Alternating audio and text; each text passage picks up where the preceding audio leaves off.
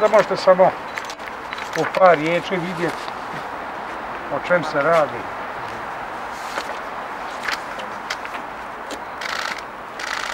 Gledao sam otvoreno pismo e, na uručbeni za gospođu glavnu državnu odvjetnicu gdje sam je upoznao, obzirom da je relativno nova šest mjeseci, iako smatram da je šest mjeseci dovoljno dugo vremena da ovlada ovim poslom.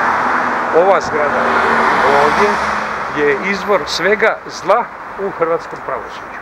Dakle, sve ono što se generira kao ili percipira kao negativno u pravosuđu, to kreće odavde. Nije to slučajno i želio sam osobno na svom primjeru upoznati gospođu Zlatu Hrvoj Šipek o genezi, genezi problema koji se desetljećima kumuliraju ovdje.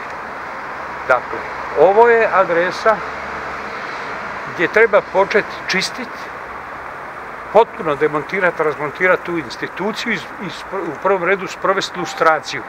Tko ovdje radi, to, to će vam biti poznato. Analizirajući neka od čelnih imena koja vode do. Ja za to mogu. Niti sam naredio, niti sam izvršio, niti sam sad prikrio. Prema tome, ako sude i sad pod pritiskom vukovarskih branitelja hapse u Negoslavcima čovjeka koji je tada imao 17 godina, ovaj imao 16 godina i za iste stvari i on mora biti uhićen i suđen kao i onaj Srbin u Negoslavcima. Evo, to je.